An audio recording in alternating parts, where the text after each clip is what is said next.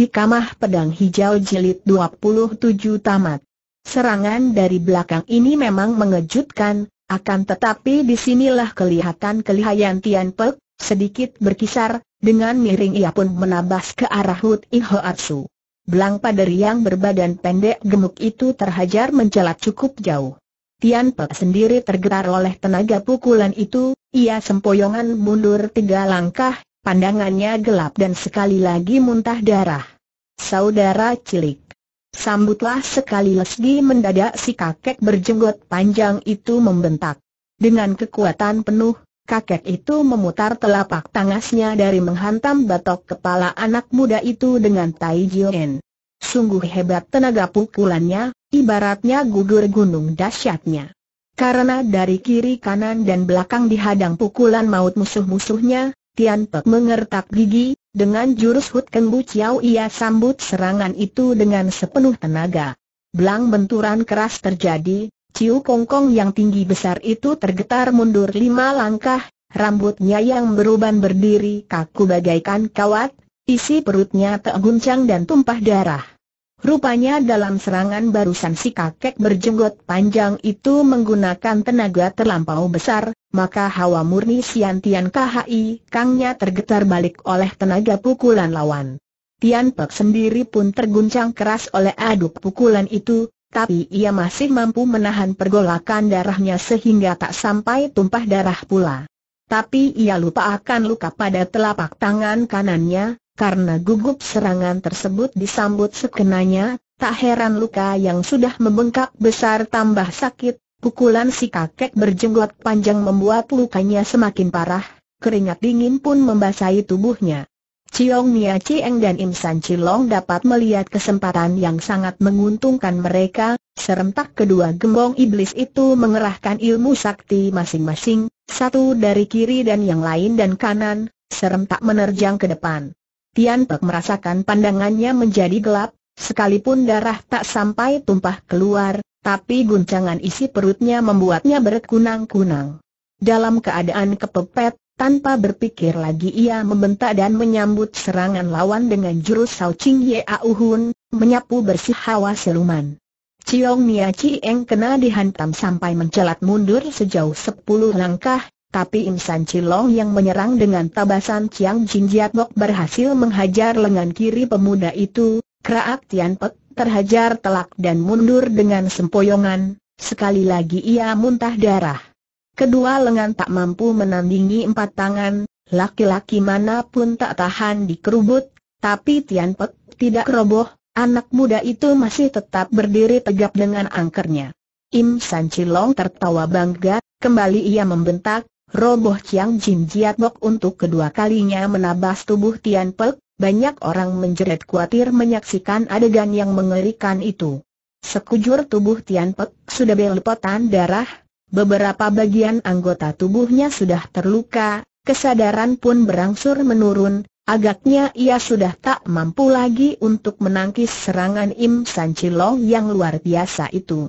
Pada saat yang berbahaya itulah, Mendadak Tian Pek mendelik, ia tidak menghindari serangan lawan sebaliknya ia gunakan sikutnya untuk menyodok ulu hati Im San Chilong. Serangan itu tak diduga oleh Im San Chilong, padahal Tian Pek sudah terluka parah dan masih mampu melancarkan sodokan maut. Dalam keadaan begitu, Im San Chilong tak dapat menghindar lagi, duk dengan telak sodokan itu mengenai ulu hatinya. Serigala dari Im San itu menjerit, darah munkrat keluar dari mulutnya, tubuhnya roboh terkapar dan tak mampu bangkit kembali Sin Leong Tai Chu terkesiap, cepat ia memburu maju dan menjejalkan beberapa biji obat mujarab ke mulut jagonya, akan tetapi Im San Chilong sudah tak mampu membuka mulutnya. Sin Leong Tai Chu coba memeriksa nadi gembong iblis itu, setelah diperiksa dengan seksama barulah diketahui bahwa urat nadinya telah putus dan jiwanya telah melayang.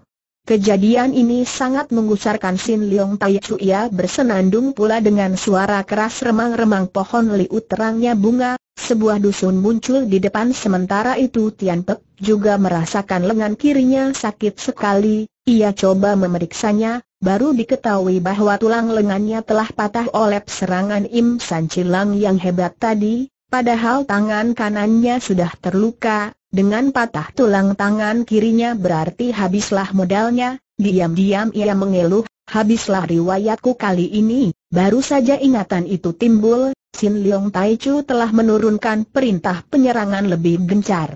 Hut In Hoatsu berkauk-kauk nyaring terus menerjang maju dengan pukulan Hamukeng yang lihai.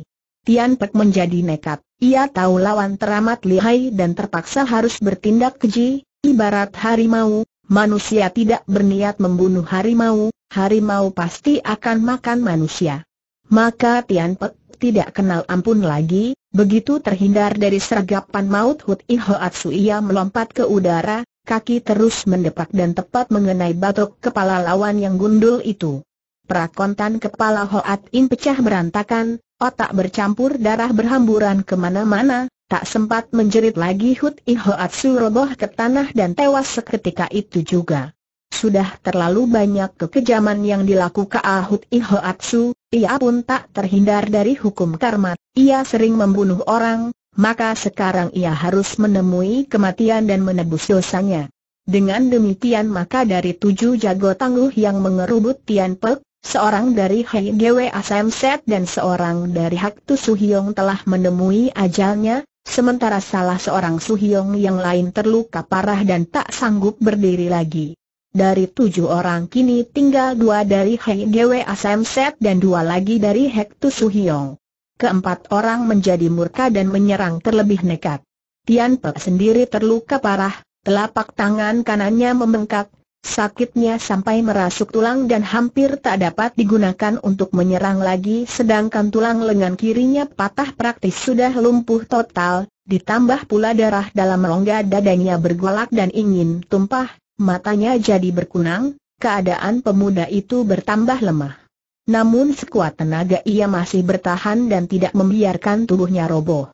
Dalam keadaan payah, Anak muda itu tetap melayani keempat musuh dengan ilmu langkah serta gerakan tubuhnya yang gesit, selain itu sikut dan kakinya juga dipakai untuk bertahan dan menyerang. Kawanan jago yang menyaksikan pertarungan ini makin terpesona, meski rata-rata mereka sudah berpengalaman, namun pertarungan sengit seperti ini belum pernah dijumpainya selama pertarungan itu berlangsung, hanya Buyung Hong, Tai Pek Siang serta Jelop Yao Tau yang beberapa kali bermaksud maju untuk menolong Tian Pek, tapi setiap kali mereka selalu digagalkan oleh pengadangan Lam Hai Liong Li. Wan Ji sudah sembuh kembali setelah diurut jalan darahnya oleh Paman Liu, ketika dilihatnya Tian Pek masih bertarung dengan sengit, ia ikut gelisah, tiba-tiba ia membentak terus menerjang ke dalam arna pertarungan. Tapi sebelum mendekat Lam Heliong Li telah membentak dari samping, Buddha ingusan, berdiri saja di samping berbareng ia menghantam dari jauh. Wan Ji lagi gelisah, tanpa pikir ia sambut pukulan lawan dengan kekerasan. Belang Wan Ji tergetar mundur. Pengadangan berulang-ulang oleh musuh yang sama ini membuat kemarahan Wan Ji memuncak, ia menyerang pula dengan ilmu jari Sohun Chi dan mengincar Sim Gi Hiat di tubuh Lam Heliong Li. Tapi Lem Heliong Li juga bukan lawan empuk, sebagai ahli waris Kui Bin Kiawa, kungfunya berada satu tingkat dengan Li Cui Cui, bila dibandingkan Wan Ji jelas tingkatannya lebih tinggi. Maka meski serangan Wan Ji sangat lihai, ia sama sekali tak gentar, ia malah membentak, Budak cilik, tampaknya kau bosan hidup ia mengegus ke samping, kemudian lengan bajunya dikebutkan ke muka untuk mengancam bahu kanan Wan Ji menghindar sambil menyerang, suatu gerakan yang cepat dan lihai kebasan lengan baju Lam Heliong Li ini menggunakan ilmu Liu Im Tiat Siu, lengan baju baja awan melayang, yang hebat, kebutan itu lebih berat dari pukulan tongkat baja. Jangankan terhajar telak, kesernipet saja mungkin bahu Wanji bisa hancur. Wanji tak berani menyambut dengan kekerasan, ia mengegus dengan gerakan Nigong Hoan Im, dengan gaya manis ia meloloskan diri dari serangan tersebut. Di luar dugaan, kebasan lengan baju Lam Heliong Li itu hanya tipuan belaka, baru saja Wan Ji menghindarkan diri, ia lantas membentak keras, lihat serangan, secepat kilat telapak tangan kanannya menghantam dada Wan Ji. Wan Ji terkejut, untungnya belakangan ini dia sering mendapat petunjuk dari Tian Pek, sehingga Kung Funyis memperoleh kemajuan pesat.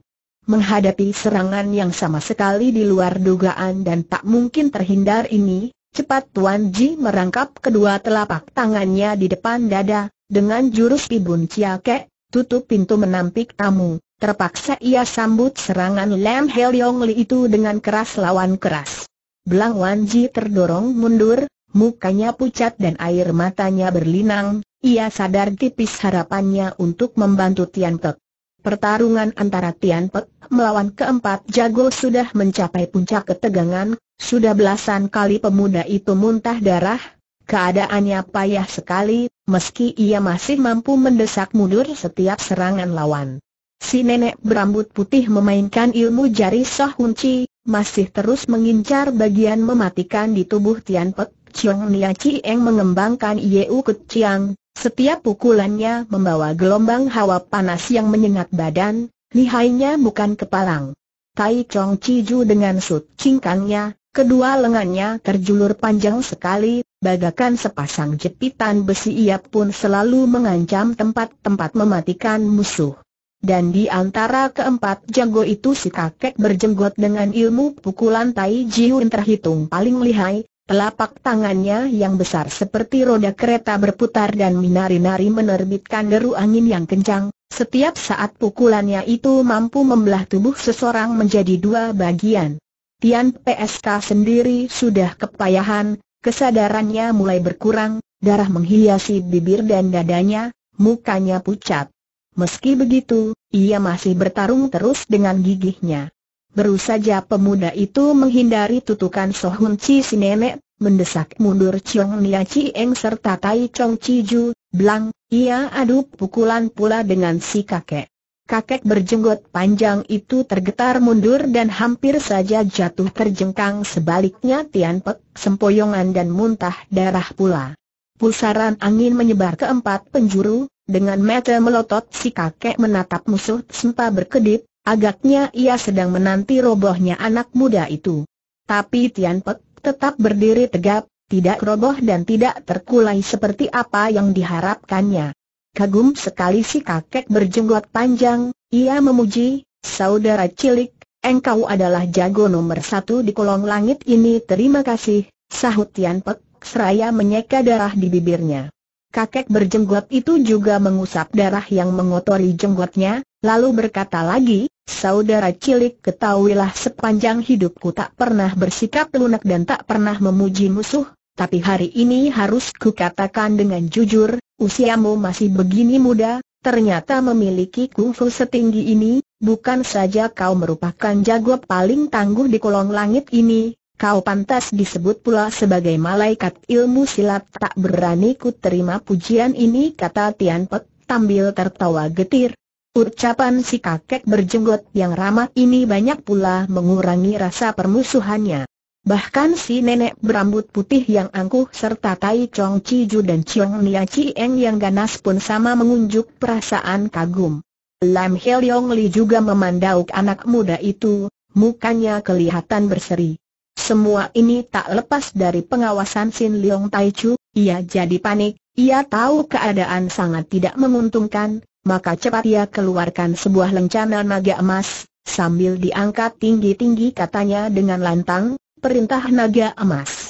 Kepada Hei Gwe Asam Set dan Hek Tu agar segera membinasakan pemuda setian itu, barang siapa berani melanggar perintah ini akan dijatuhi hukuman berat. Air muka si kakek berubah, ia memandang sekejap lencana naga emas yang diangkat tinggi-tinggi oleh Sin Leong Tai Chu itu, kemudian menghela napas ia berpaling dan berkata kepada Tian Pek, anak muda, bersiap-siaplah menyambut seranganku.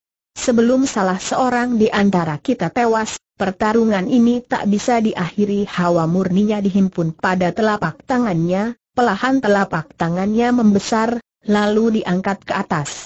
Telapak tangannya membesar seperti roda, otot-otot hijau yang besar menonjol seperti berpuluh ekor ular kecil berwarna hijau, seram sekali tampaknya. Tunggu sebentar. Tiba-tiba Wanji berteriak. Kakek itu menghentikan serangannya, lalu menatap Wanji sekejap tanpa mengucapkan sepatah kata pun. Melihat kakek itu membatalkan serangannya. Wan Ji berpaling dan memandang kawanan jago yang berkumpul di sekitar Arna, lalu teriaknya dengan lantang, kalian manusia sia yang menyebut diri Rinfa sebagai Bulim Sukong Chu. Ketua Serabilan Besar. Kekumpulan pengemis yang tersohor. Apakah kalian hanya berdiri belakang menyaksikan Tian Xiao Hiap berjuang sendirian dan menjual nyawa demi kepentingan kalian semua seruan Wan Ji menyentak perasaan orang-orang itu, banyak yang merasa malu, ada pula yang bersiap-siap terjun ke arena pertempuran, tapi kelihatan ragu. Akhirnya tak seorang pun yang berani ikut terjun ke tengah gelanggang. Wan Ji melirik sekejap ke arah Tian Pek yang pucat dan berdarah serta berdiri sempoyongan itu, sedangkan si kakek jenggot panjang masih juga angkat telapak tangannya dan siap melancarkan serangan, Tai Chong Chiju, Ciong Nia Cieng dan si nenek berambut putih juga masih berada di sekitarnya dan siap menyergap pemuda itu, ini mencemaskan perasaannya. Maka kembali ia berseru dengan setengah memaki, Huh, kalian tak lebih hanya kaum pengecut yang takut mati.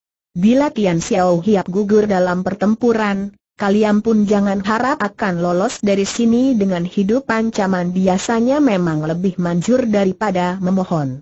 Baru saja Wan Ji selesai berkata, kawanan jago itu pun menyadari keadaan mereka yang berbahaya. Mereka mengerti pertarungan Tian Pek itu tak lain adalah bertujuan menentang kekuasaan Lam Hebun dan mempertahankan keadilan serta kebenaran di dunia persilatan. Maka serentak kawanan jago itu pun menyerbu maju ke tengah gelanggang pertempuran.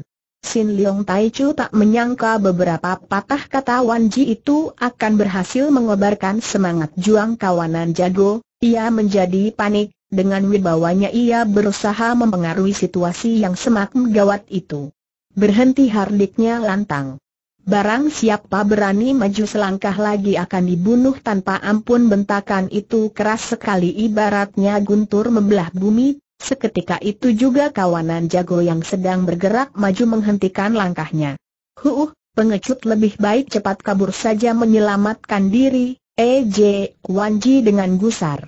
Biarlah nonamu beradu jiwa sendiri dengan mereka, sambil membentak ia menerjang maju, Telapak tangan kirinya menabas muka Lem Leong Li sedangkan tangan kanan dengan ilmu jari So Hun Chi menutup Sin Leong Tai Chu. Wan Ji adalah nona yang cerdik, dari lencana naga emas yang dipegang Sin Leong Tai Chu, ia tahu pemuda inilah merupakan pimpinan musuh, maka ketika menerjang ke depan, ia pura-pura menyerang Lem Leong Li, padahal kekuatan yang sesungguhnya tertuju ke arah Sin Leong Tai Chu. Maksud nona itu, kalau bisa musuh ini akan dibinasakan dalam satu kali serangan, asal orang sudah mampus maka ular takkan bisa berjalan tanpa kepala, dalam suasana kalut nyawa engkoh Tian akan dapat diselamatkan. Rencana ini memang bagus cuma sayang Nona itu melupakan sesuatu hal, ia terlampau rendah mesnaksir kekuatan Sin Leong Tai Chu berdua, sebagai komandan yang memimpin penyerbuan ke Daatan Tionggoan, Mana mungkin kungfu mereka hanya sedang-sedang saja? Jika mereka dapat dibunuh dalam satu kali serang, tidaklah mungkin kedua orang ini akan dipilih sebagai pimpinan. Baru saja Wan Jim melompat maju, LSM Heliong Li telah membentak keras, budak ingusan. Kau benar-benar sudah bosan hidup rupanya seceoat kilatia mengebaskan lengan bajunya ke muka seret kebasan yang keras itu tepat menghantam pinggang Wan Ji. Nona itu menjerit tertahan, tubuhnya mencelat jauh dan jatuh tak sadarkan diri. Tapi karena kejadian inilah, kawanan jago jadi marah, sambil meraung, serentak mereka menyerbu ke depan. Sin Leong Tai Chu semakin panik menyaksikan gelagat yang tidak menguntungkan, cepat ia angkat tinggi-tinggi lencana naga emas dan berseru, Ciu Kong Kong. Dengarkan perintah, bocah keparat setian itu kuserahkan kepadamu, Ketahuilah perintah Kim Leong Leng tak ada yang ditarik kembali, jika bocah setian itu masih hidup sampai malam ini, engkaulah yang bertanggung jawab selesai memberi perintah, ia simpan kembali lencananya, lalu bersama Lam Leong Li melakukan perlawanan terhadap serbuan kawanan jago persilatan itu. Dengan ilmu siat mereka yang tinggi serta hati mereka yang keji, mana kawanan jago itu dapat menandingi mereka? Jerit ngeri berkumandang susul menyusul, baru tiga gebrakan sudah beberapa orang menemui ajalnya. Di tengah pertarungan yang serba kalut inilah, tiba-tiba terdengar tiga kali benturan keras menggelegar.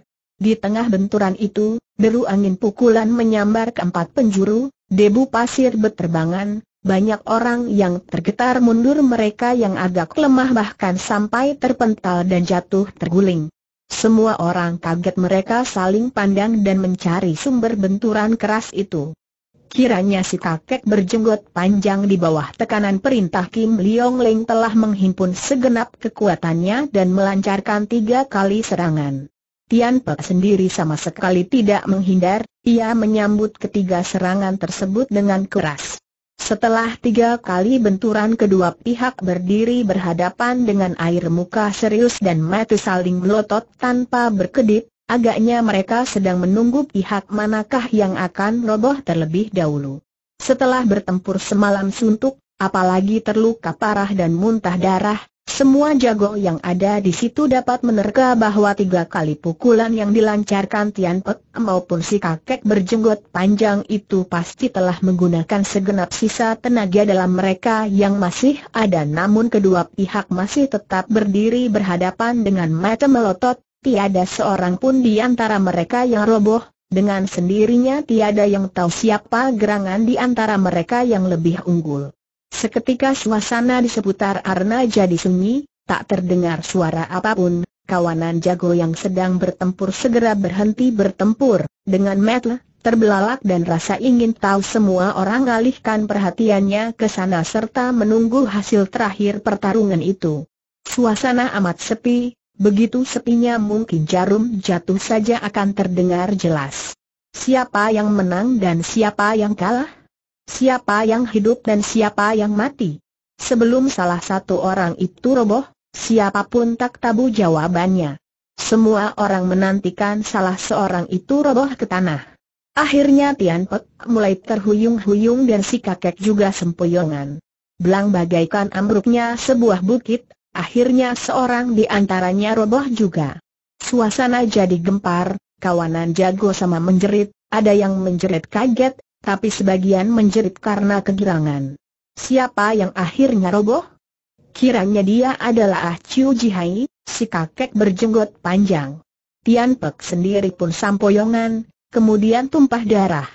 Pemuda itu sempat melirik sekejap ke arah kakek berjenggot panjang yang terkapar di bawah kakinya, ia pun sempat bergumam lirih aih, orang tua, semoga kau tidak mati titik butiran air mata meleleh keluar, dengan membawa badan yang luka serta hati yang pedih ia berlalu dari situ dengan langkah sempoyongan.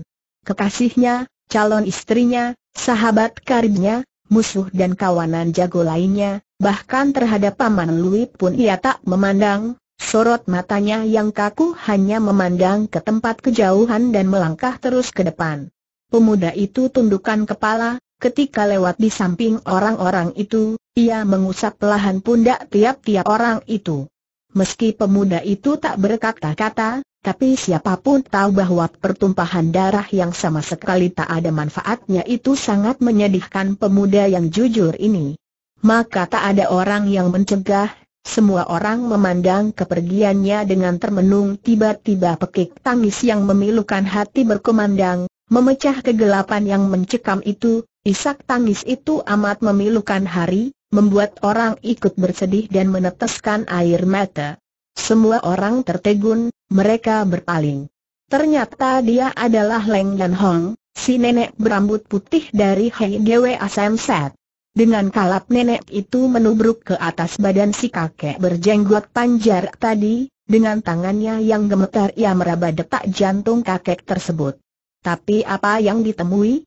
Tubuh kakek itu sudah dingin dan kaku detak jantungnya setelah berhenti, rupanya Chiu Ji Hei atau si kakek berjenggot panjang yang berilmu silat sangat tinggi itu telah tewas. Pedih hati si nenek berambut putih, hatinya bagaikan disayat-sayat sesaat itu, bagainya dunia seolah-olah berhenti berputar. Terkenang kembali semasa mudanya, dikala ia masih remaja, dengan ilmu silatnya yang tinggi ia malang melintang di dunia persilatan tanpa tandingan, kemudian berjumpa dengan pemuda tampan yang berilmu silat lebih tinggi yaitu Chiu Ji Hei, S1 kakek berjenggot panjang yang kini terkapar di atas tanah sebagai mayat itu.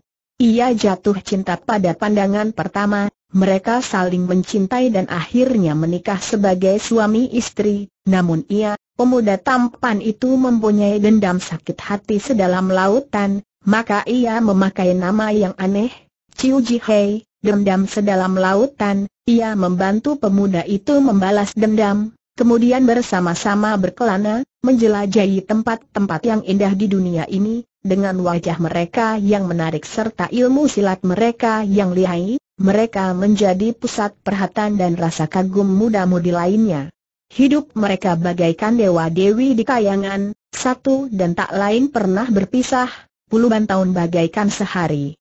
Sebagai muda-mudi yang berilmu tinggi mereka pun mempunyai pandangan yang angkuh tak memandang sebelah mata terhadap orang lain, Sifat-sifat ini akhirnya mendatangkan akibat yang tak menguntungkan.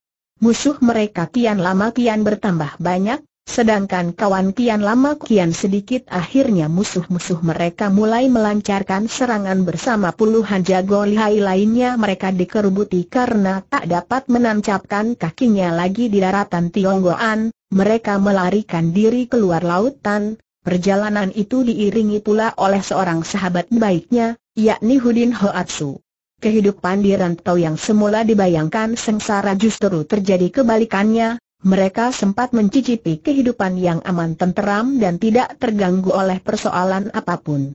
Tiap hari kerja mereka hanya berdayung sampan, mendaki bukit, duduk di bawah pepohonan, bermain di bawah air terjun, semua kebahagiaan hidup mereka cicipi. Sepi kemudian, ketika usia mereka mulai melanjut, Tiba-tiba Lam Heid Kun yang memberikan semua keperluan mereka itu mempunyai ambisi untuk menguasai daratan Tionggoan.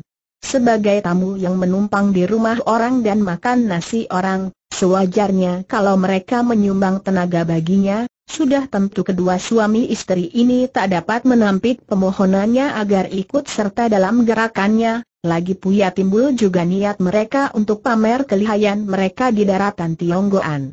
Mereka mengira setelah berlatih tekun selama puluhan tahun di pulau terpencil, kungfu mereka yang pada dasarnya sudah hebat pasti tambah lihai hingga tiada tandingannya di dunia ini. Tapi akhirnya, apa yang mereka dapatkan?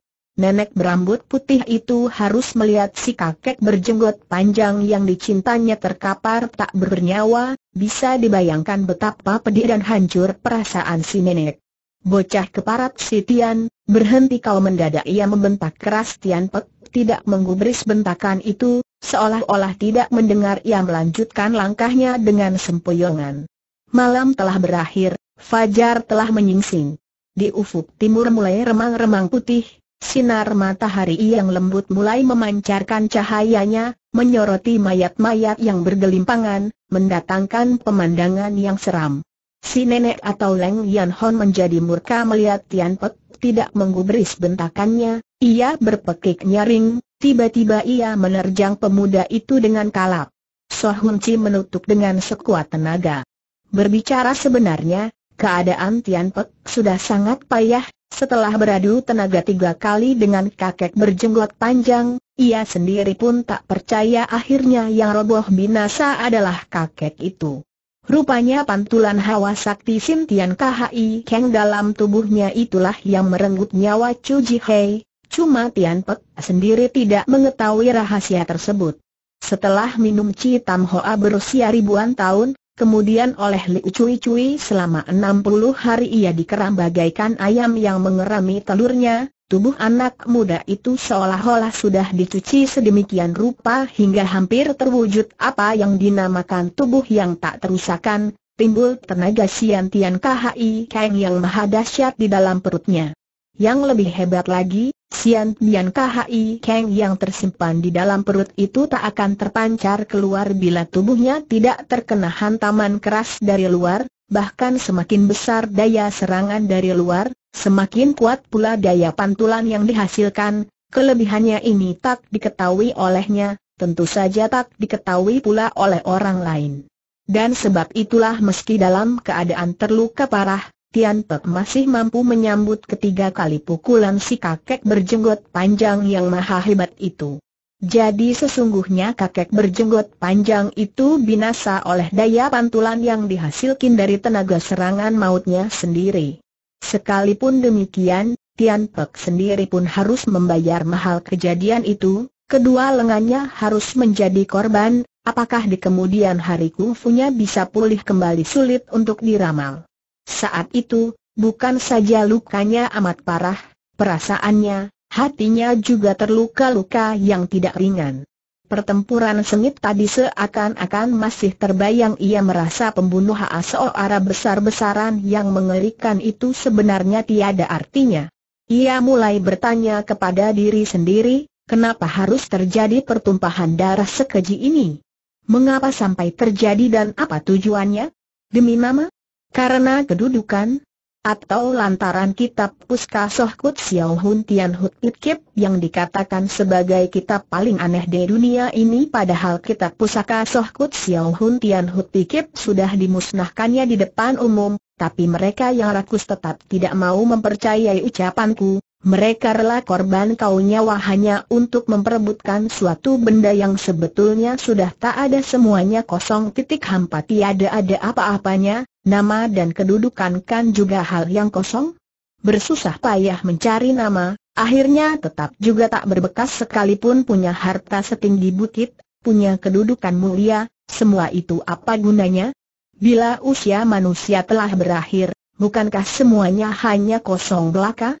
Apa yang dapat dibawa serta ke alam baka, dia terluka lahir batin, maka ia tak menghiraukan siapa pun, ingin cepat tinggalkan tempat itu, meninggalkan kelompok manusia dungu ini, meninggalkan arena pertempuran yang berbau darah. Mendadak angin tajam menyambar dari belakang, secara naluri ia mengegus ke samping. Tapi sayang, dalam keadaan terluka parah ia kehilangan kelincahannya, meski berkelit, ia tak dapat menghindarkan diri dari serangan itu. Beluk walaupun tidak mengenai tempat mematikan di punggungnya, tapi bahu kanannya terasa sakit bagaikan dihantam martil.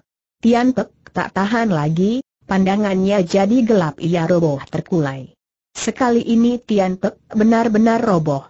Akhirnya pemuda yang gagah perkasa ini roboh juga, pelbagai luka yang parah, Aneka ragam pukulan batin yang berat membuat pikirannya berhenti, membuat jantungnya berhenti berdenyut, membuat sukmanya terjerumus ke dalam kegelapan titik.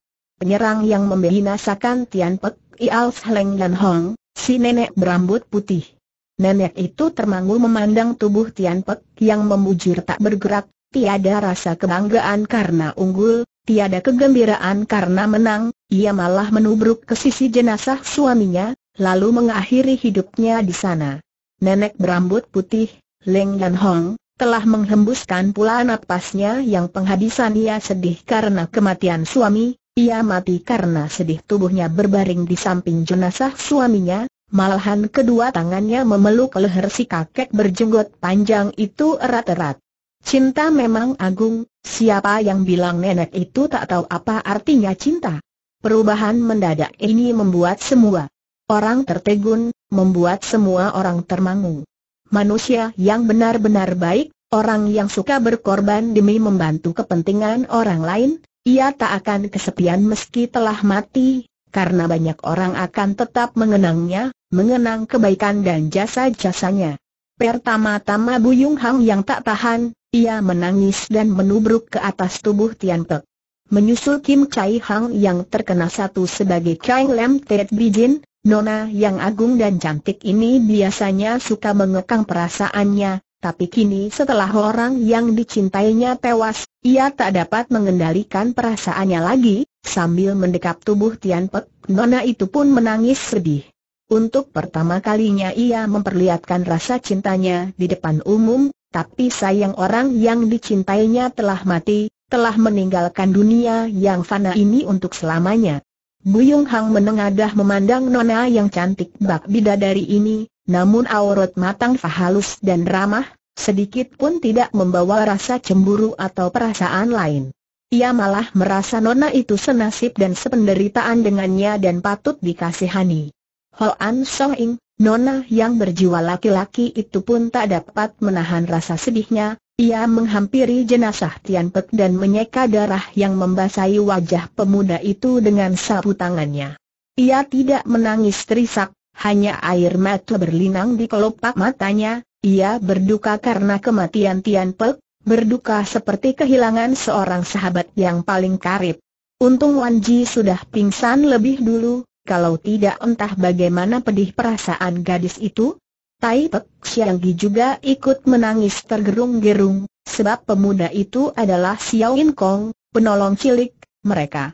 Dahulu kedua orang ini mendapat pertolongan Pek Lek Kiam Tian Indian, setelah pendekar besar itu mati penasaran dan kedua bersaudara ini merasa tak mampu membalaskan dendam baginya, mereka lantas menyebut dirinya sebagai orang mati hidup dan orang hidup mati kemudian setelah bertemu dengan Tian Pek dan mengetahui anak muda ini adalah keturunan Tuan penolongnya, maka mereka pun berusaha membalas budi kebaikan yang pernah diterimanya dari Tian Intian kepada pemuda ini.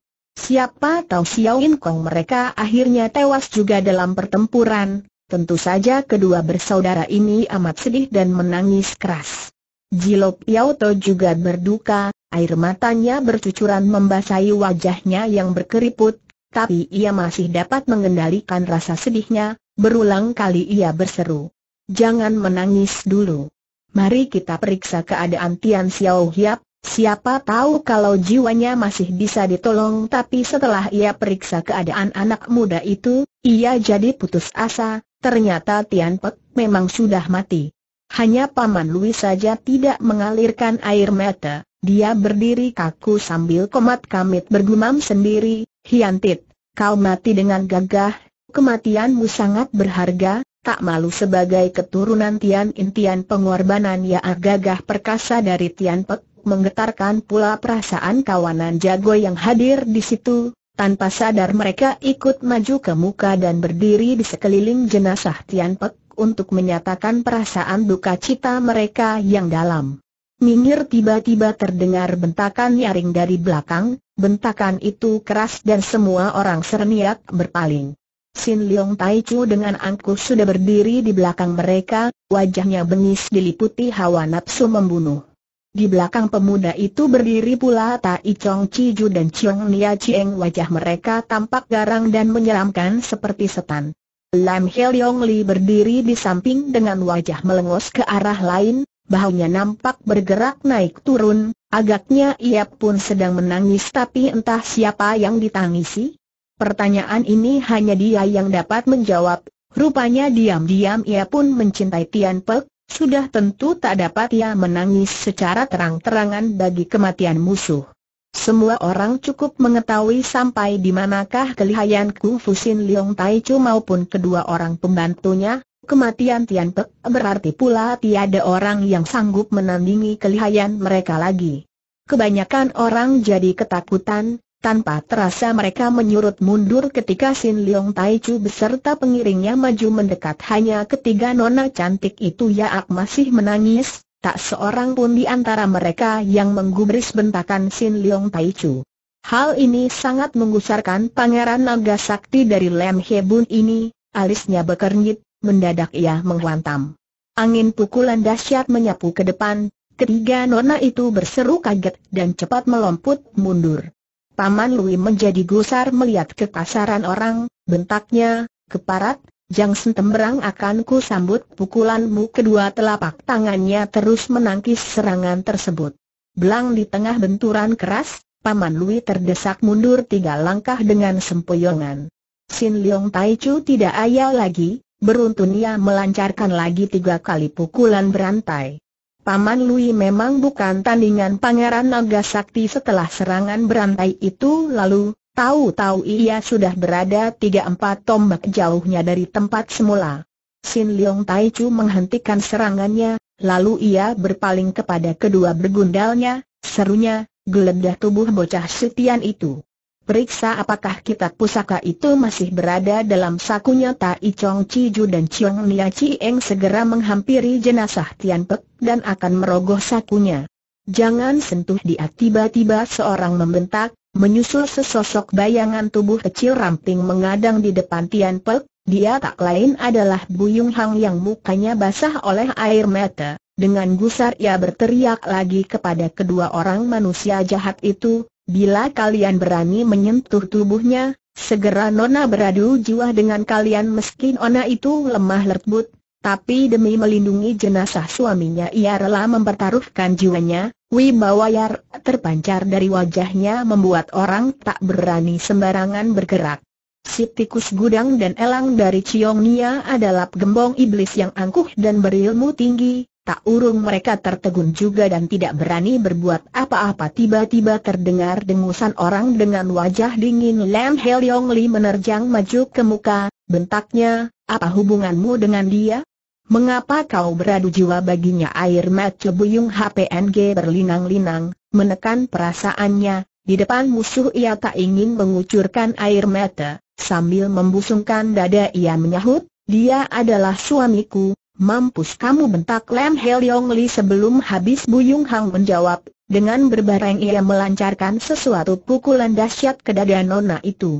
Buyung Hang sambut serangan itu dengan kedua tangannya, blang. Belang ia terdesak mundur belasan langkah jauhnya. Begitu Buyung Hang terdesak mundur, Lam Heliong Li tidak mengejar lebih jauh, setelah membetulkan rambutnya yar, kusut, it merabat Tian Pek, tangan gemetar. Dada yang bidang, betapa kekarnya tubuh anak muda itu, meski hanya sesosok jenazah yang dingin dan kaku, namun bagi Lam Heliong Li yang tak pandang sebelah mata, terhadap laki-laki lain di dunia ini, Seketika hatinya tergetar, ia merasa bagaikan kena aliran listrik, sekujur tubuh bergemetar. Selama biduknya baru kali ini dia menyentuh tubuh lawan jenisnya, dan orang itu adalah laki-laki yang pertama kali menarik perhatiannya, kepadanya ia jatuh cinta dan sekarang sudah berwujud menjadi mayat.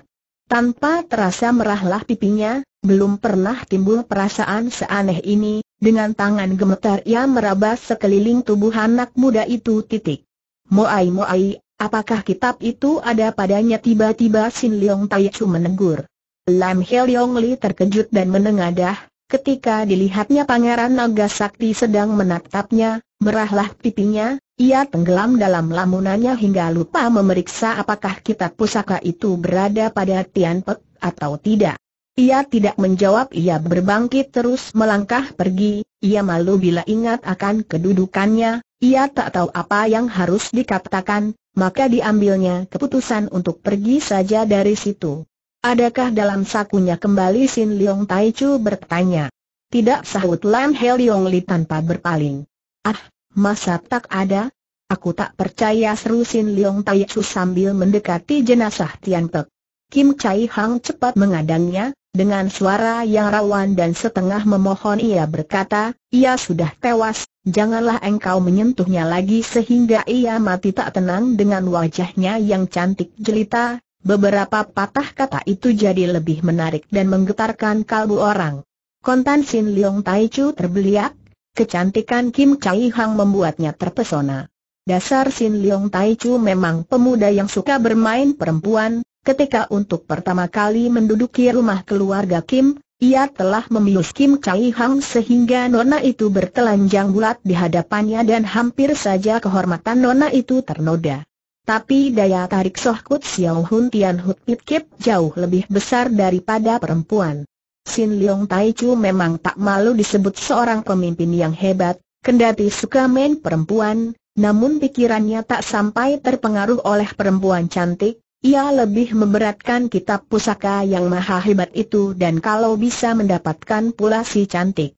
Maka tatkala Kim Chai Hang selesai berkata, ia tertawa dan menjawab, Nona, sayang sekali tempo hari aku telah melewatkan suatu kesempatan yang sangat baik, bila ingat kembali sungguh aku sangat menyesal, ingin ku bicara terus terang, kecantikan Nona memang tiada keduanya di dunia ini. Hati Kim Chai Hang berdebar keras, Siapa yang tak suka dipuji cantik, apalagi anak perempuan. Sin Leong Tai Chu memang tampan dan menawan hati terutama senyumnya yang mendebarkan boleh dibilang lebih ketampanan Tian Pek, cuma sayang senyum dan sorot matanya membawa sifat jahat inilah yang berbeda dengan kejujuran serta kepolos Tian Pek. merah wajah Kim Chai Hong, apalagi bila terbayang kembali bagaimana ia nyaris dilalap oleh pemuda itu, jantungnya berdetak, untuk sesaat ia tak tahu apa yang harus dilakukan. Tiba-tiba Sin Leong Tai Chu mendekatinya, ia colek pipi Kim Chai Hong yang halus seraya berkata, sekarang Tai Chu tak bergairah untuk bermain cinta, hahaha, bila urusan di sini sudah selesai, nanti akan ku cari lagi dirimu. Malu dan gusar hati Kim Chai Hong, tak disangkanya Sin Leong Tai Chu yang terhormat itu ternyata berani melakukan tindakan rendah di hadapan orang banyak, sebagai nona yang tinggi hati sudah tentu ia merasa tindakan orang itu merupakan suatu penghinaan besar. Tanpa bicara, telapak tangannya balas menggampar pipi Pangeran Naga Sakti, blok tempelengan itu bersarang telak, pipi Sin Leong Chu yang tampan tertera bekas jari tangan yang merah. Bila kejadian itu berlangsung dalam keadaan biasa, tak mungkin tempelengan Kim Chai Hang akan mengenai sasarannya, tapi waktu itu Sin Leong Chu tak menduga, kedua ia asik terkesima oleh kecantikan si Nona sehingga hatinya tak tenang, maka dengan gampang tamparan itu mengenai mukanya. Air muka Sin Leong Chu berubah merah padam, ia marah sekali karena ditampar orang di hadapan umum. Budak ingusan, kau cari mampus ia membentak. Dengan jari tangan yang dirempangkan lebar-lebar, ia cingkeram batok kepala nona itu, sementara telapak tangan kanan meraba ke dada, satu jurus dua serangan, semuanya dilancarkan dengan cepat luar biasa, Tampaknya kemarahan pemuda itu sudah mencapai puncaknya sehingga ia tak segan-segan mencabut nyawa nona itu. Ilmu silat Kim Chai Hang adalah ajaran langsung dari ayahnya, tapi dibandingkan dengan Sin Leong Tai Chu jelas bukan tandingannya. Tatkala desing angin tajam menolak tiba dan bayang setelapak tangan satu awan sudah berada di depan mata, gadis itu merasa tak mampu berkelit lagi, ia pasrah nasib dan berdiri tak bergerak, metu dipejamkan sementara dalam hati ia berdoa, engkau Tian, tunggulah sebentar, adik segera akan menyusul engkau. Meski kita tak dapat hidup bersama di dunia ini, biarlah kita berdampingan di pukul 1 AM Baka, sekarang ia tidak jar lagi menghadapi kematian, dia malah berharap pukulan Sin Leong Tai Chu itu dapat mencabut nyawanya sehingga ia dapat menyusul Tian Pek ke alam baka. Walaupun hidup tak bisa berdampingan dengan kekasihnya, tapi mereka akan bertemu di alam baka, kejadian ini cukup menghibur hatinya. Siapa tahu kematian tak kunjung datang, sekalipun ia sudah pejamkan mata dan menunggu pukulan itu, namun pukulan yang dahsyat itu tak pernah menimpa badannya, Nona itu jadi heran dan membuka matanya, apa yang tertampak olehnya membuat Nona itu jadi tercengang. Ternyata Sin Leong Tai Chu telah menyurut mundur sejauh beberapa tombak dari tempat semula dengan wajah kaget bercampur khawatir. Sedang di depannya entah sejak kapan telah bertambah seorang kakek berbaju pertapa serta seorang nona yang cantik. Kakek berbaju pertapa itu berusia lima puluhan, mukanya bulat dengan jenggot cabang lima, sikapnya agung berwibawa, jubahnya berwarna abu-abu, sepatu dengan kaos putih, dan danannya persis seperti dewa, siapa pun akan tahu orang ini pasti seorang tokoh sakti yang berilmu tinggi nona yang cantik itu memakai baju yang sederhana, perutnya kelihatan besar, agaknya sedang mengandung. Air mukanya tenang, tidak bergincu, rambut pun tidak dikepang tapi dibiarkan terurai di belakang.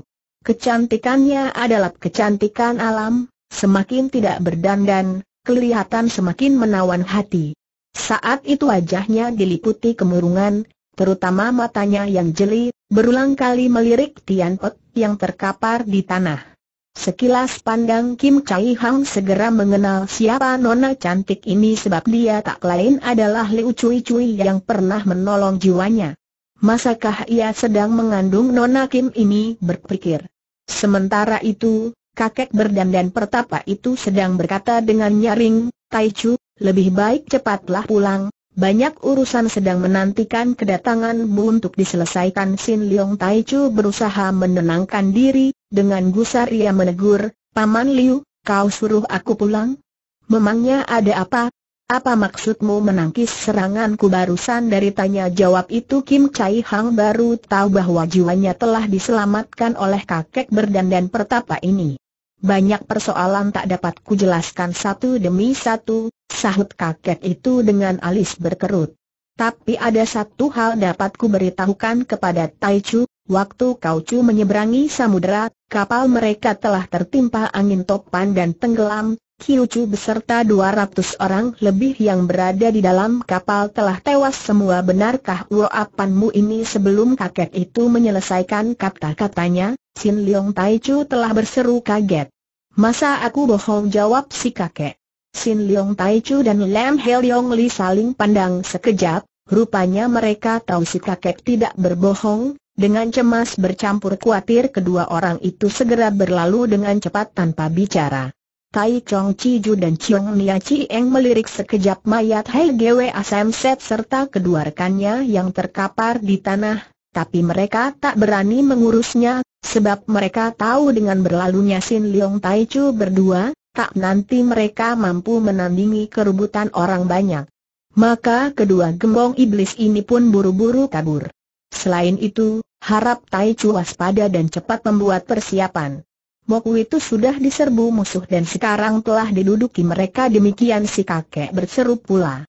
Ketika ucapan tersebut diutarakan, baik Sin Leong Tai Chu dan Lam He Leong Li maupun Tai Chong Chi Ju dan Chiong Nia Chi Eng keempat orang itu sudah berada puluhan tombak jauhnya, tapi ucapan tadi disampaikan dengan ilmu Cian Li Choan Im, ilmu menyampaikan suara dari jauh, maka pasti keempat orang itu dapat mendengar dengan jelas. Sesudah bayangan keempat orang itu lenyap dari pandangan, Paman Lui baru maju ke depan dan memberi hormat kepada kakek pertapa itu sembari menyapa, jika mataku belum lamur, bukankah Toti yang ini Jin Sancu, sikit pas perak, Liu Tiong Ho, Liu Hiante dengan wajah berseri kakek pertapa itu menggenggam tangan Paman Lui, kemudian terbahak-bahak, haha, hebat amat ketajaman matamu saudara Lui. Hanya sekilas pandang saja lantas mengenali kembali diriku, padahal sudah puluhan tahun aku tak pernah menongol di daratan baik-baikkah semua sobat kita Paman Lui menghela napas panjang, ia menuding mayat yang bergelimpangan di tanah dan menjawab, Ai, susah untuk melukiskan keadaan kami dengan sepatah dua patah kata. Coba lihatlah mayat yang begitu banyak.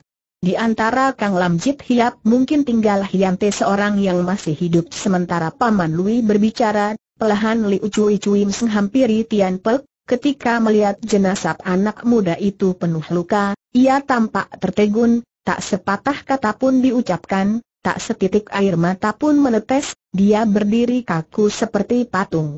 Tapi siapa pun dapat merasakan kepedihan hatinya, duka yang tak bersuara, kepedihan yang tak kentara, menangis tanpa air mata.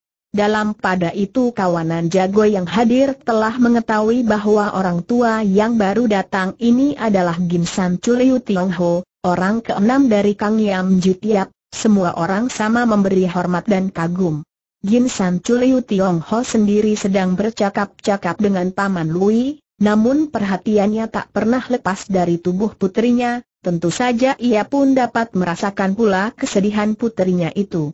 Ia memang sudah menjadi pertapa dan menjauhkan diri dari keramaian dunia, tapi manusia tetap manusia, dapatkah ia melupakan segala-galanya apalagi nona itu adalah putri kesayangannya.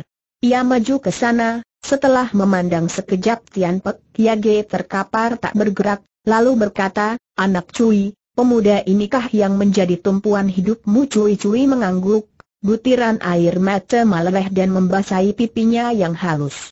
Paman Lui ikut maju, katanya dengan sedih, Liu Hiante, bocah ini tiada lain adalah satu-satunya keturunan kakak angkatmu Pek Klek Kiam Tian Intian di luar dugaan, Gin San Chuliu Tiong Ha tidak menunjukkan rasa berduka, dengan tatapan tajam ia perhatikan sekejap jenazah Tian Pek, lalu serunya dengan dingin, EHM, Bocah ini memang berbakat luar biasa lalu kepada putrinya. Ia bertanya, ia sudah mati, apakah kau masih berkeras ingin kawin dengan dia? Dengan pasti Cui Cui mengangguk, meski tidak menjawab, tapi dari sikapnya yang serius, Siapa pun tahu tekadnya yang bulat dan tak mungkin berubah lagi. Nak, kau masih muda kembali Liu Tiong Ho berkata, untuk hidup menjanda selama-lamanya bukanlah suatu pekerjaan yang gampang, menurut pendapat Tayah lebih baik. Ayah, apa maksudmu mengucapkan kata-kata semacam itu selah cui-cui dengan kurang senang? Sekali anak sudah kawin dengan dia, selama hidup pikiranku tak akan berubah, apalagi dalam perutku sudah ada janin yang merupakan darah daging keturunannya. Keterangan ini cukup menggemparkan, terutama Buyung Hong, Kim Chai Hang dan Hoan So Ing, mereka sama melenggong.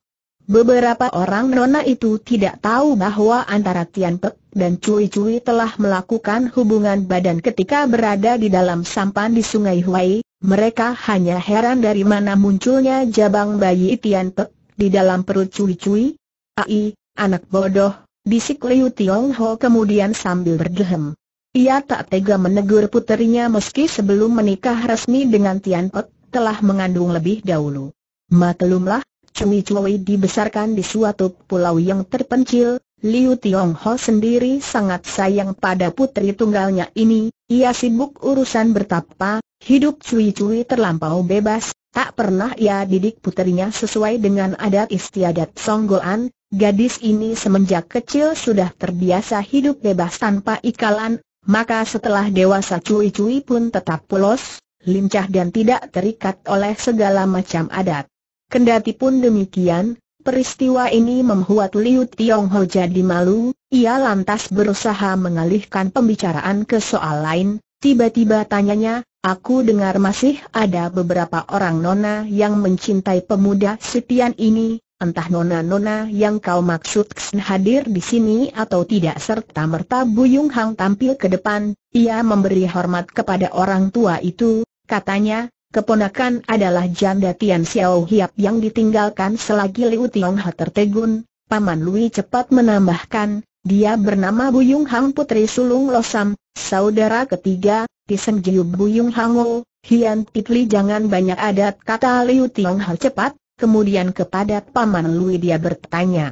Apakah ia sudah menikah dengan putra saudara Tian ini? Menikah memang belum, tapi mereka sudah dijodohkan dengan resmi, Akulah yang menjadi combang bagi mereka berdua sahut Paman Lui sedih. Selain itu, aku telah menjodohkan pula adikku kepada Tian Xiao Hiap tiba-tiba Buyung Hang menambahkan. Liu Tiong Ho semakin bingung, ah jadi kau menjodohkan pula adikmu dengan suamimu.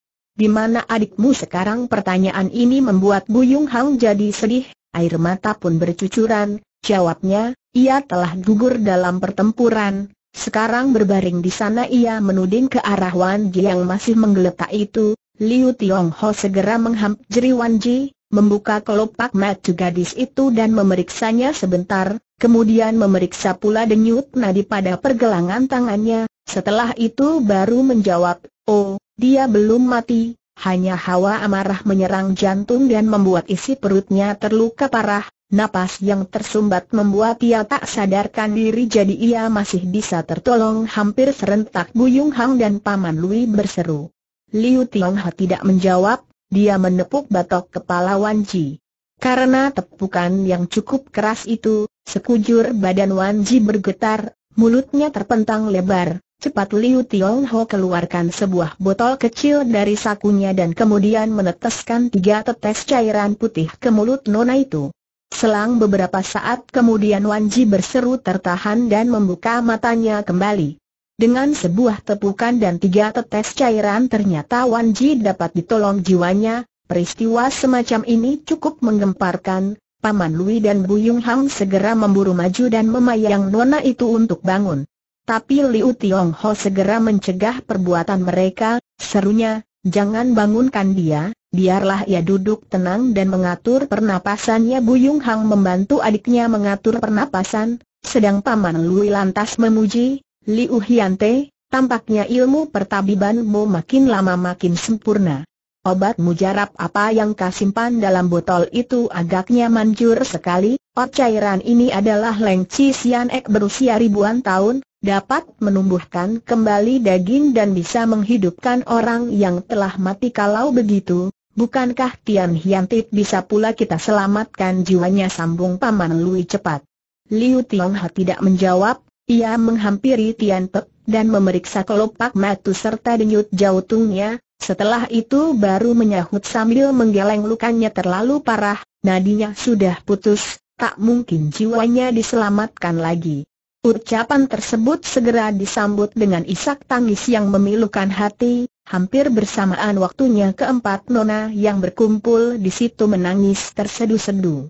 Liu Cui Cui, Bu Yung Hong, Kim Chai Hang dan Hoan So Hing mendekap muka masing-masing dan menangis dengan sedihnya, sedang Wan Ji yang sadar hanya membelalakan matanya memandang dengan heran keempat Nona Yarak sedang menangis itu, rupanya ia tak mengerti apa sebabnya keempat orang itu menangis.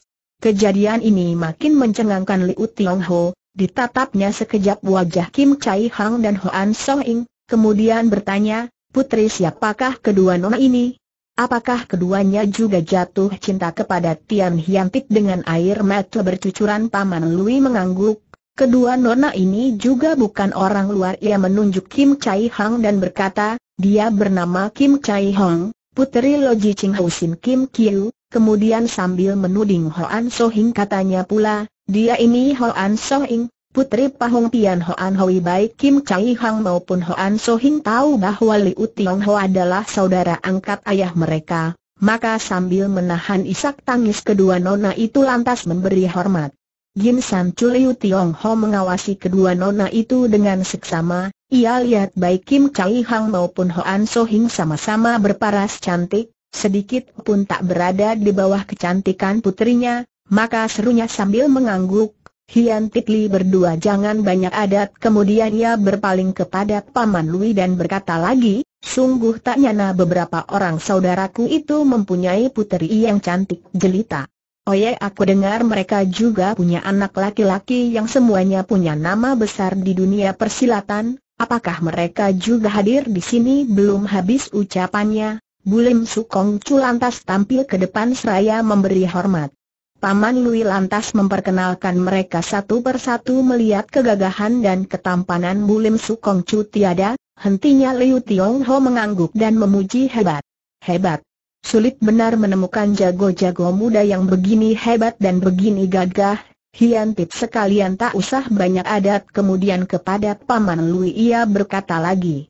EHM, keponakan akan semua adalah tunas muda harapan bangsa, yang laki-laki hebat dan yang perempuan cantik.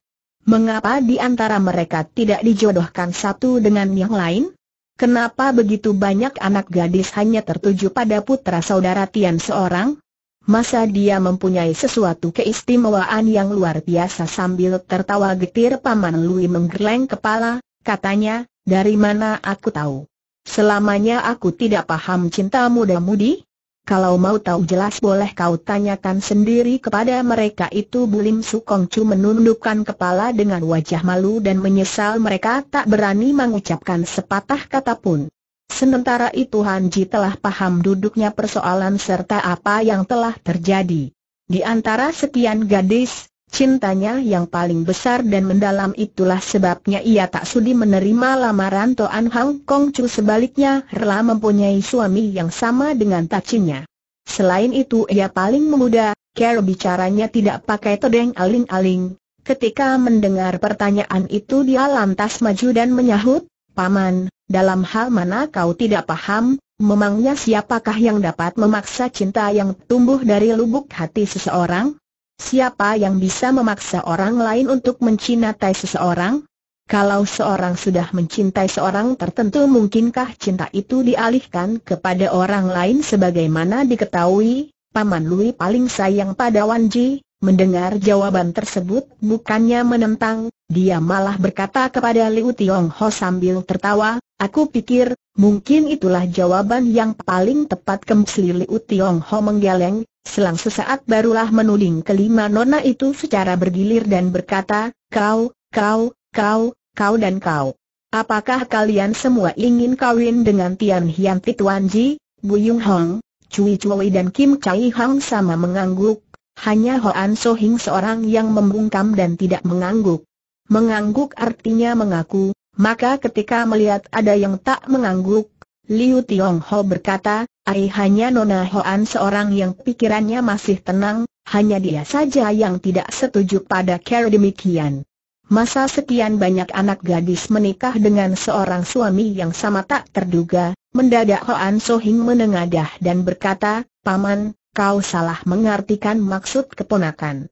Kendati Titli tidak harus kawin dengan Tian Xiao Biap, tapi aku pasti akan menjadi seorang sahabat Tian Xiao Hiap Lui Tiong Ho tertawa mendengar perkataan ini, serunya cepat, andai kata tiada peristiwa tragis di Tong Tingoh, tentu kalian masih berhubungan erat sekali antara keluarga yang satu dengan yang lain, tapi hubungan sebagai sahabat ataukah sebagai famili tanda seru bukan begitu maksudku, tukas Hoan Sohing cepat maksudku ingin menjadi sahabat paling karib Tian Xiao Hiap, tiap hari berkumpul dan selamanya takkan berpisah lagi titik ketika mengucapkan kata-kata terakhir, suaranya berubah lirih, merah pipi pun semakin tebal. Melengak Liu Tiong Hom mendengar jawaban itu. Ah, belum pernah ku dengar ada persahabatan yang akrab begitu serunya, kecuali menjadi suami istri, masa ada teman yang berkumpul pagi sampai malam dan tak berpisah untuk selamanya persahabatan macam begitulah yang Titli inginkan dengan Tian Xiao Hiap sambung Hoan Soh Ing. Liu Tiong Ho mengamati tubuh si Nona yang tinggi semampai wajahnya yang cantik dan gerak-geriknya yang bersifat kelaki-lakian, mendadak ia seperti memahami sesuatu. Hubungan antara laki dan perempuan, di atas cinta sebagai kekasih, cinta persahabatan adalah cinta yang paling luhur dan paling suci. Sebelum bertapa, Liu Tiong Ho sendiri pun seorang laki-laki yang mudah jatuh cinta, ia dapat merasakan betapa suci bersihnya cinta persahabatan seperti yang dimaksudkan. Maka tiba-tiba ia jadi memahami apa yang dimaksudkan sahabat oleh Hoan Soh Ing. Cinta nona ini jauh di atas nafsu berahi dan sifat mementingkan diri sendiri, ia rela mengorbankan dirinya bagi sahabat, tiada maksud memilikinya sendiri, tiada cemburu.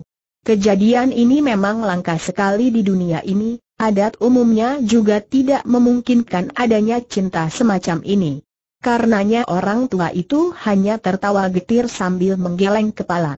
Hian Tikli katanya kemudian, mungkin kau telah melupakan sesuatu, sekarang Tian Hianti telah meninggal dunia, apa yang kau harapkan mungkin tak bisa terwujud untuk selamanya tak apalah jawab nona itu tanpa berpikir, aku akan mengubur jenazahnya, kemudian membuat rumah gubuk di depan kuburannya dan menemani dia selama hidupku. Sekali lagi Liu Tiong Ho melengak inilah pernyataan cinta yang tulus dan ikhlas, pernyataan suci tentang cinta dari mulut seorang darah cantik, Pernyataan ini membuat hatinya terharu, ia mulai berpikir tentang Tian Pek, dengan apakah ia berhasil merebut hati gadis yang cantik dan perkasa ini?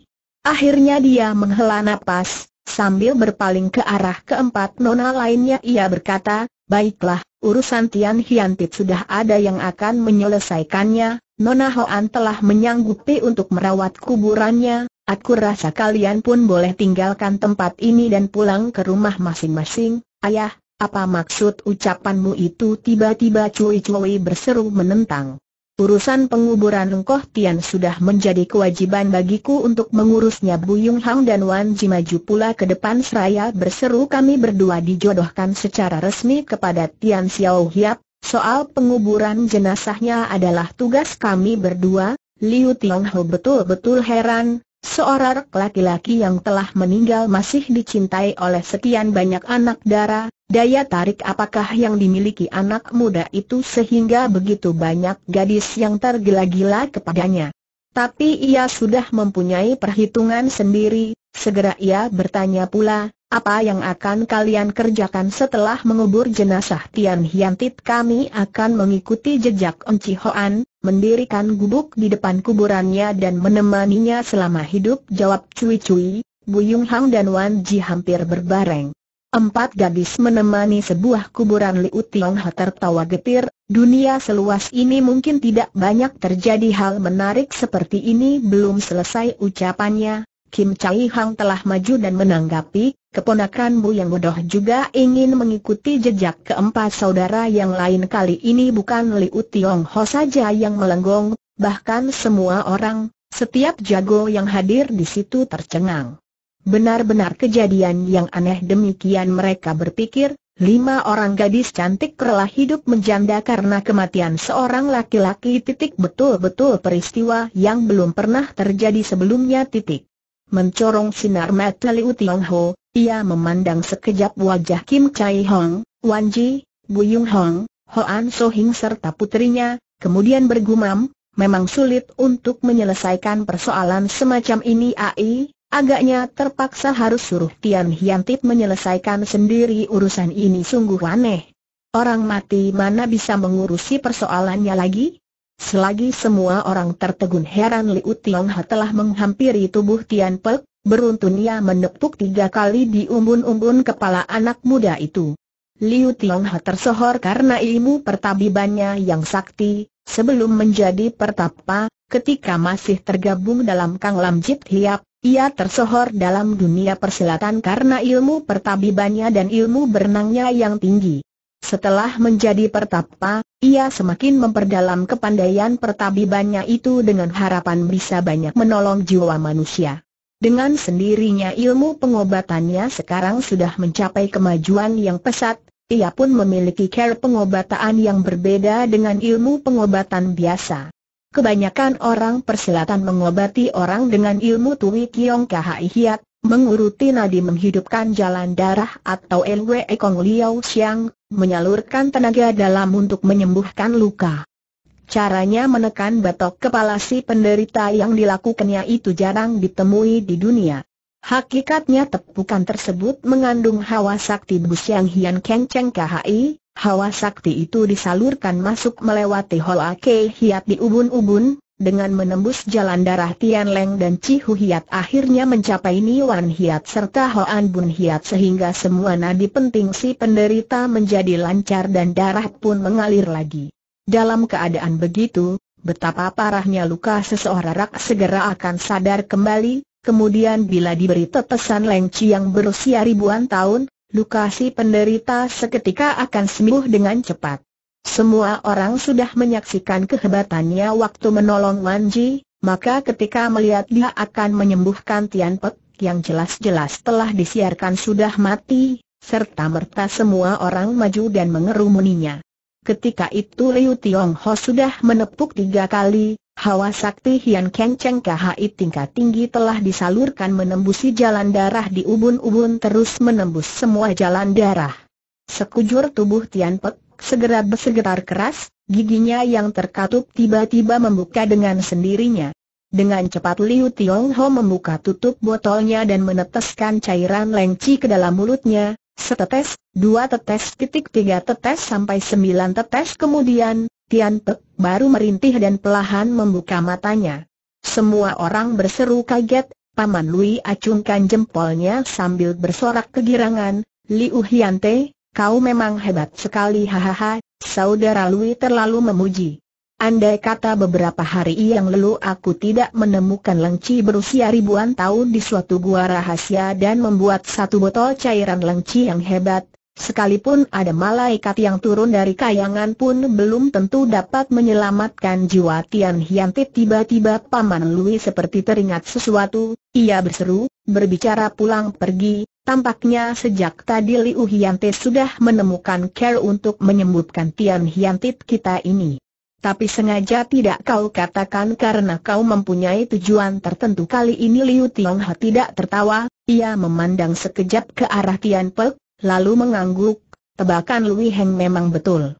Aku memang sengaja menyiarkan bahwa Tian Hianti tak tertolong lagi dengan tujuan agar ia bisa terlepas dari belenggu cinta, tapi bukti telah berbicara lain. Sekalipun keponakan Tian benar-benar sudah meninggal, benang cinta yang membelenggunya tetap tak bisa dilepaskan. Dalam pada itu kelima gadis cantik tadi sedang mengerumuni Tian Pek, ada yang membersihkan noda darah di tubuhnya, ada yang membalutkan lukanya, ada pula yang menguruti jalan darahnya titik.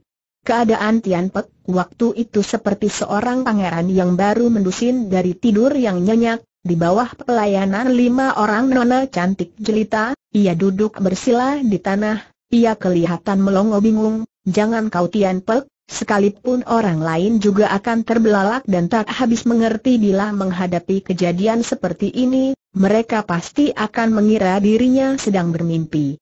Akhirnya kesadaran Tian Pek pulih kembali seperti sedia kala, ia memandang wajah kelima nona itu secara bergantian, kemudian air mukanya berubah merah, ia merasa bahagia karena mendapat pelayanan kelima orang gadis cantik, tapi ia pun merasa malu karena semua itu dialaminya di hadapan orang banyak. Ia bergerak dengan alis bekernyit. Engkoh Tian, badanmu masih sakit segera Wanji menegur. Engkoh Pek. Bagaimana rasa isi perutmu sekarang tanya Bu Yung Hong. Engkoh titik Tian Xiao Hiap, lukamu sudah sembuh sambung Kim Chai Hong. Hanya Hoan So Ing yang tidak bersuara, matanya yang jeli memandang pemuda itu dengan mesra, Mukanya berseri, tapi air matanya mengembang di kelopak matanya. Cui-cui memayang anak muda itu dan berbisik lembut, beristirahatlah sejenak lagi.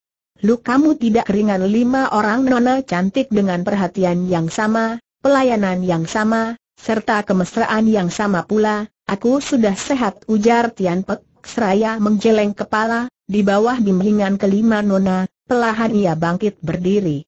Ketika ia memandang ke depan ia lihat seorang pertapa tua sedang berdiri di samping Paman Lui, mereka sedang memandangnya sambil tersenyum.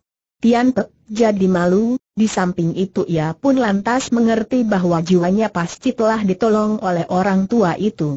Sebelum ia maju untuk memberi hormat, Paman Lui telah berkata lebih dahulu, keponakan Tian, hayo kemari dan memberi hormat kepada pamanmu yang keenam.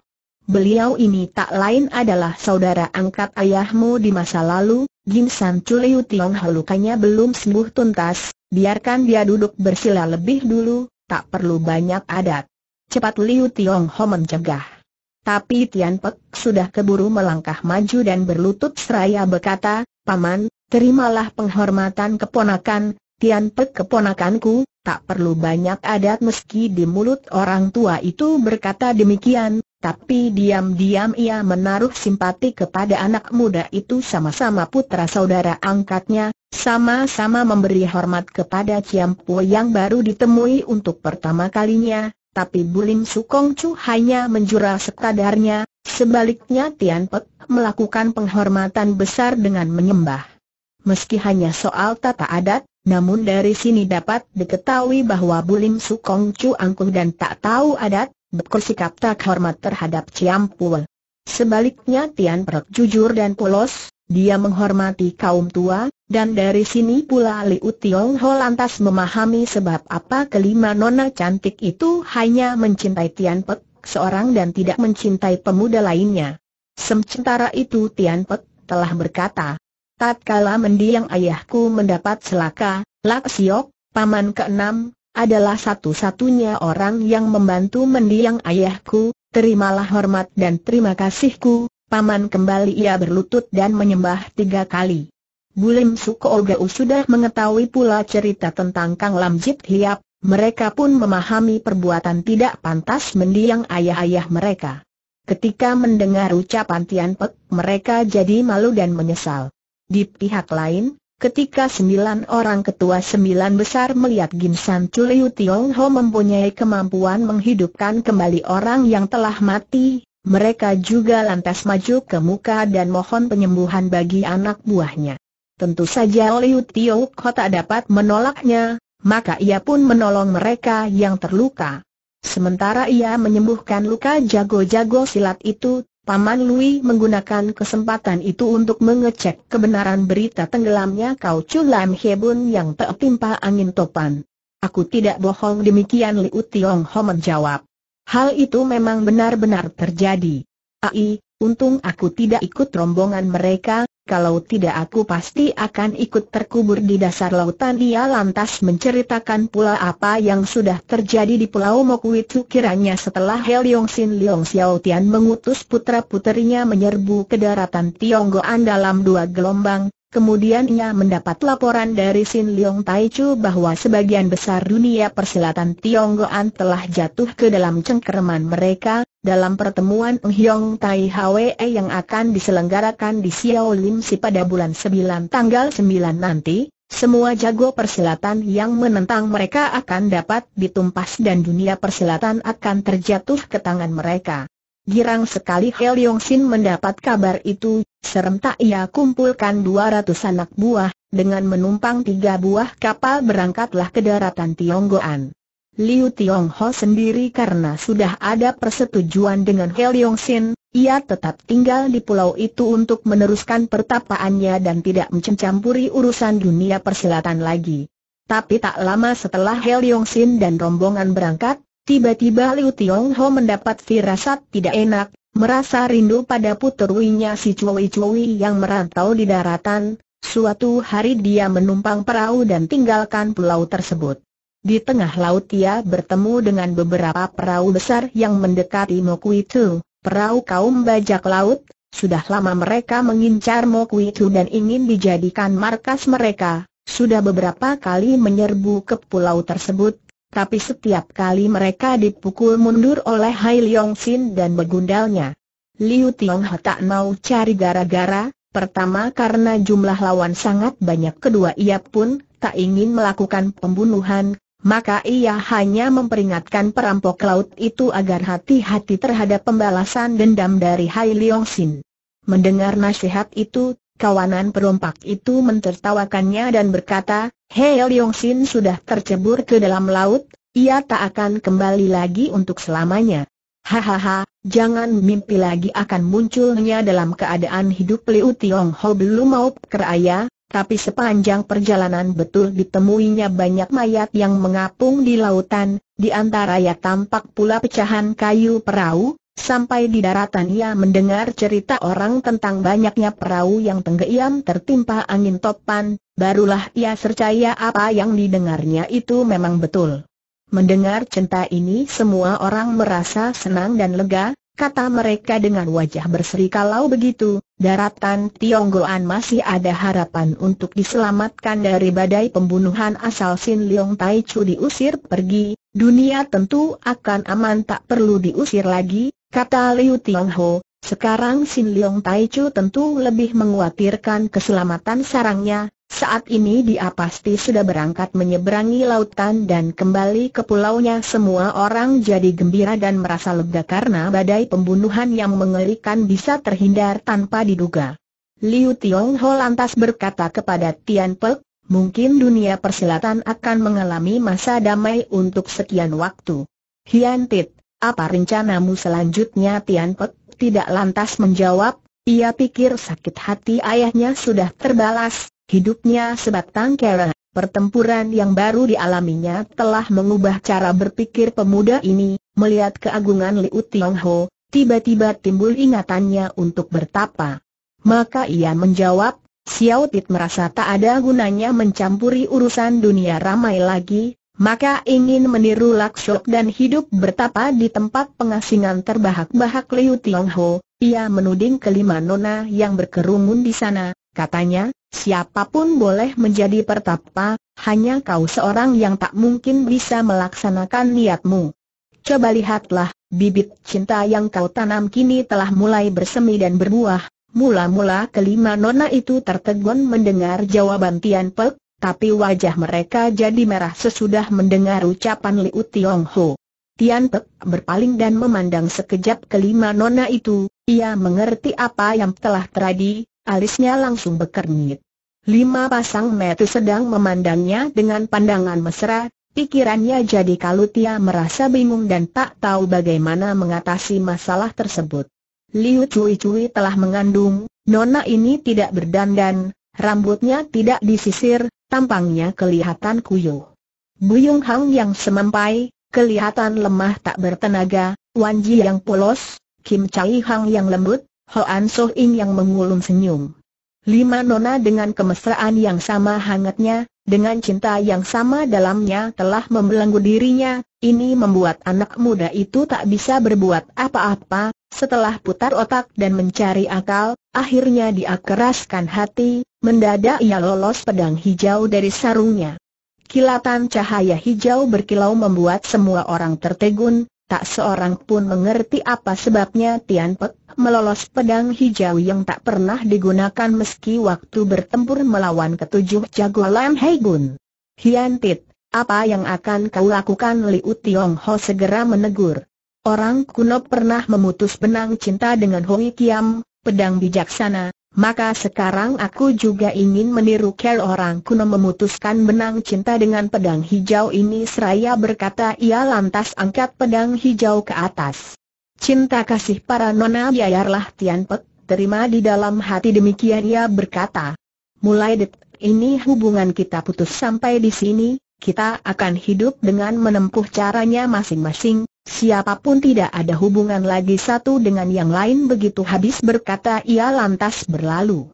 Liu Cui Sui menjerit tertahan, cepat ia memburu ke sana dan mengadang jalan pergi anak muda itu sambil berseru, orang lain boleh tak dihiraukan olehmu, tapi aku tak dapat kau tinggalkan.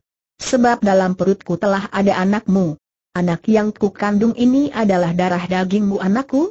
Darah dagingku gumam Tian Pek, dengan bingung Buyung Hang dan Wan Ji juga melompat ke depan, seru mereka, kami berdua telah kau nikahi secara resmi, kami berdua tak dapat kau tinggalkan dengan begini saja. Hoan Soh Ing tidak tinggal diam, ia pun melompat ke depan seraya berseru, kau boleh menjadi pendeta, boleh tak beristri tapi aku kan sahabat karibmu, kalau aku ikut pergi bersamamu tentunya tak beralangan bukan pelahan Kim Chai Hang juga maju ke depan, bisiknya dengan kepala tertunduk, ke ujung langit atau ke dasar lautan kau akan pergi, selamanya akan kudampingimu Tian Pek benar-benar bingung oleh kenyataan itu.